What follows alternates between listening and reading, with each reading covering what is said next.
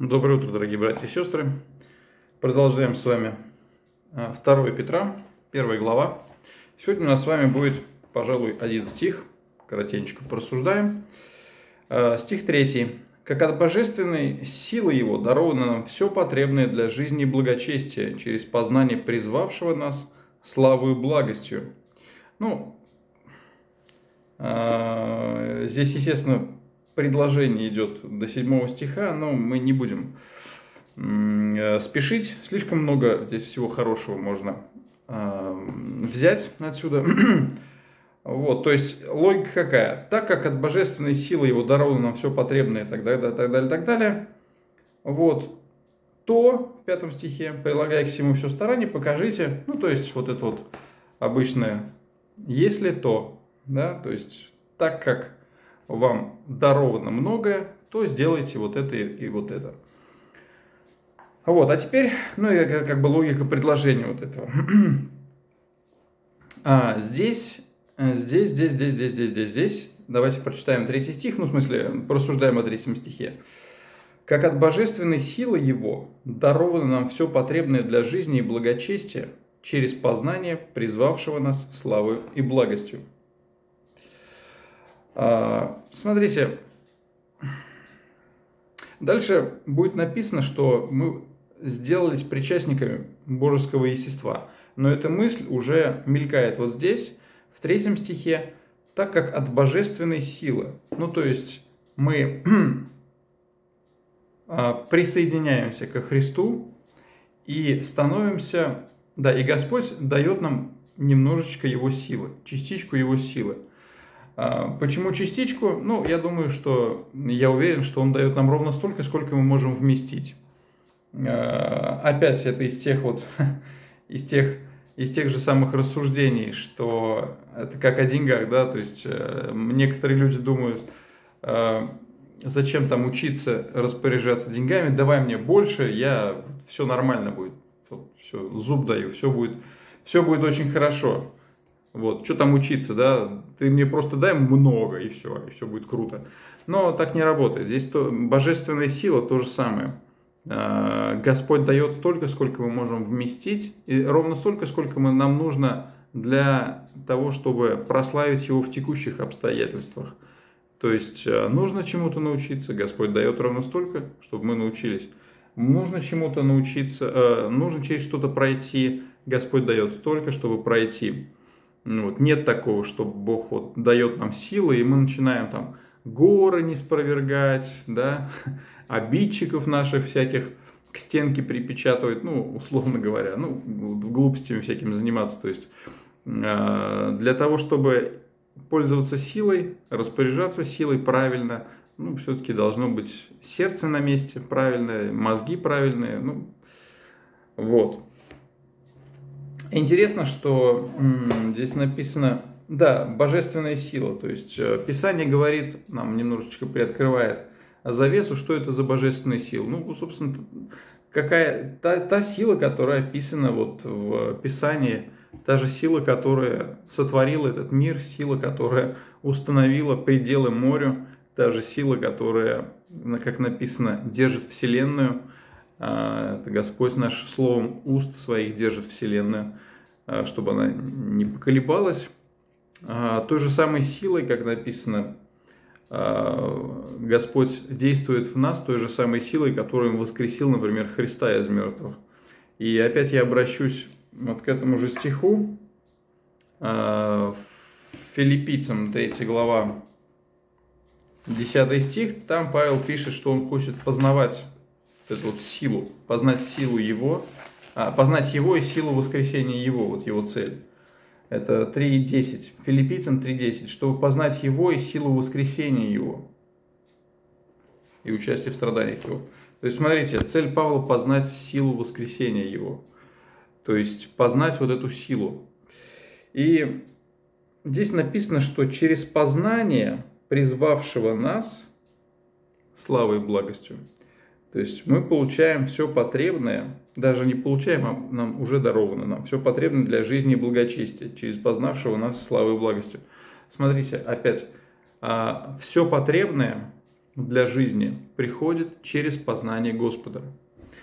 И э, здесь, конечно же, для нас, я думаю, для нас людей, я думаю, должно звучать, ну, эти слова должны звучать как обличение, потому что для того, чтобы получить все потребное, ну, я уж не говорю про физические вещи, конечно же, то есть, эм, чтобы получить потребное для тела, мы идем в магазин. В. Ну, а до этого, до магазина идем на работу. Ну, э, схема простая. Но чтобы получить все потребное для души и духа, люди обращаются вообще э, в кучу разных мест. Покупают книжки там какие-то непонятные, слушают каких-то гуру, которые вообще непонятно кто. Ну и даже если и понятно кто, это просто люди. Нет, интересно иногда послушать, понятное дело, хорошего человека, умного человека, его рассуждения. Но я в целом говорю, что люди часто Э, познают что угодно, там, кроме того, чтобы познавать Господа. И э, но вообще-то в этом ключ. В этом ключ. Написано, что через познание призвавшего мы получаем все потребное для жизни и благочестия.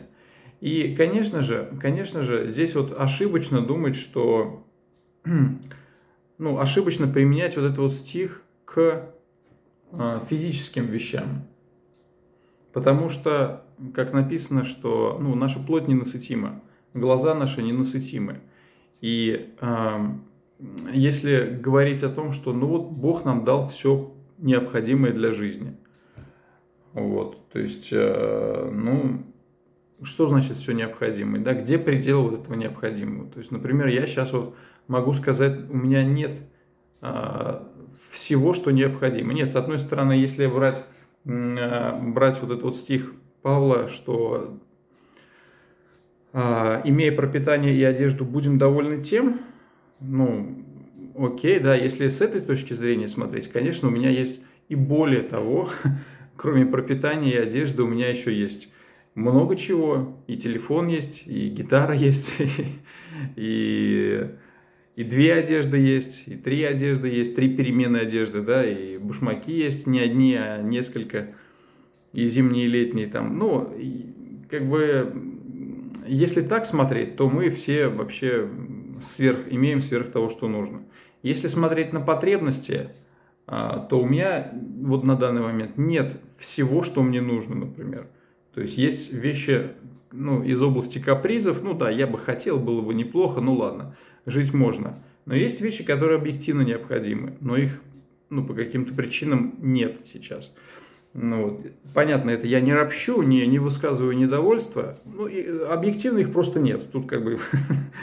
То есть получается, что если мы применяем этот стих э, для физических вещей, то получается, либо мы притягиваем, э, ну, занимаемся самообманом, то есть, да нет, нет, Бог дал мне все потребное, ну, вообще нет. То есть есть нужда объективно.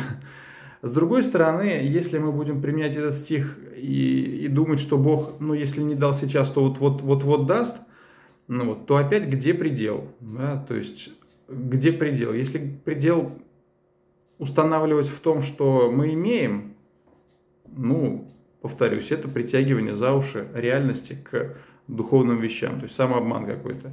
Если говорить о том, что у меня чего-то нет, но мне Бог вот-вот-вот даст, то есть вот опять, чего желать, да, то есть я могу жел- нажелать такого, что там, в общем, много всего нажелать, и тоже буду думать, что мне это нужно. Поэтому, ну, это ошибка. Я думаю, что, ну, не фатальное, понятное дело, но мы просто идем не по, не по тому пути и начинаем ну, причинно-следственная связь рушится, логика рушится, вот, здравость уходит, а приходят какие-то вот, ну, повторюсь, либо самообман, либо самообольщение какое-то. Поэтому, не только поэтому, но здесь вот очевидно, да, что потребное появляется через познание. То есть все потребное для жизни и благочестия появляется через познание. А познание – это процесс духовный познание Господа – это процесс духовный. И не нужно думать, что чем ближе мы к Господу, тем больше у нас вещей, вот, тем больше у нас материального. Эти вещи не совсем связаны. а здесь нет прямой зависимости. Конечно же, Господь заботится о нас, да и аминь. Но нет такого, что вот я Библию читаю два часа, у меня зарплата, ну, ой, не два часа, там, допустим, полчаса в день, у меня зарплата там такой-то уровень. Если э, читаю час в день, хо, бах, мне за, по, зарплату повысили. Читаю два часа в день, мне еще повысили там процентов на 20. Во, то есть такой зависимости нет абсолютно. И глупо думать, что она есть. И обманывать себя и других не нужно. Ну вот, поэтому э, познание – это процесс духовный. Но с другой стороны, обратите внимание, что это самое важное в жизни. Потому что материальными вещами человек не насыщается. Ну, я имею в виду душа человека. Материальные вещи работают только здесь и сейчас, ну, для нашего тела. Ну, эмоции какие-то могут еще подарить. То есть классные вообще блюда, чудесное там впечатление от чего-нибудь там и так далее. Это все эмоциональные вещи, и они мимолетные. И, и, и, и блюдо тоже. Ну, я поел, попробовал, да, круто, классно, вообще обалденно. Лучшее, что я пробовал. Ну, так я через два часа опять буду голодный. Понимаете? Вот. Но все потребное для жизни благочестие приходит нам через познание нашего Господа. А, и это вот самое основательное насыщение, которое только может быть, а, насыщение нашего духа, нашей души, и вот как раз то, от чего зависит полнота, ну, ощущение полноты нашей жизни, мира, э, ну, много всего, что исходит от Господа.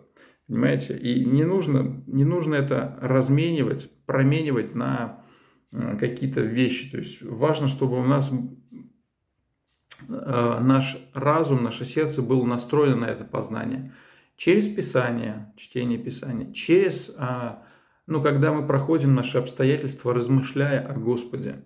То есть, что Господь совершает в данный момент, что... И, ну, это занимает время, естественно, это требует усилий, да, нужно сесть и подумать, или настроить свой мозг, чтобы хотя бы мозг, я имею в виду сердце, чтобы размышлять о Господних путях, ну, допустим, на пути, да, вот на работу у меня есть время, там, 20 минут я на велике гоняю, вот на этом пути поразмышлять, э, в течение дня выделить там 15 минут, полчаса, но пусть это будет только о Господе, вот только о Нем. Вот это вот тогда будет, вот результат будет насыщение, будет действительно плод, добрый плод. Поэтому давайте на этом пока остановимся и примем мысль о том, что важно. Важно познавать Господа, самого Его. Понимаете? его пути. Отец наш Небесный, научи нас, пожалуйста, познавать Тебя, научи нас насыщаться Тобой, наполняться, э, утолять свой душевный и духовный голод именно вот познанием Тебя во имя Иисуса Христа. Аминь.